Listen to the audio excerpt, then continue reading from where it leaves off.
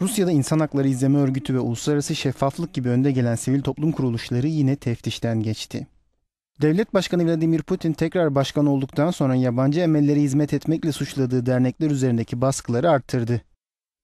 Kurum yetkilileri bu incelemelerin yıldırmaya yönelik olduğunu belirtiyor.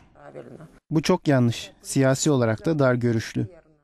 İnsan hakları ve yolsuzlukla mücadele derneklerine baskı yapmak yolsuzluğun en büyük göstergesidir aslında. Son aylarda çok sayıda dernek vergiden yangın güvenliğine kadar uyarı yapılmadan yüzlerce teftişten geçti. Ülkedeki en ünlü aktivistlerden biri olan Svetlana Ganuşkina da bundan şikayetçi. Bu şüphesiz baskı oluşturmak için, sivil toplumu sindirmek için yapılıyor. Bunlar tamamıyla formalite çünkü teftişler sürekli yapılıyor. Kimse önceden haber vermiyor. Biz devletimize karşı çalışmıyoruz.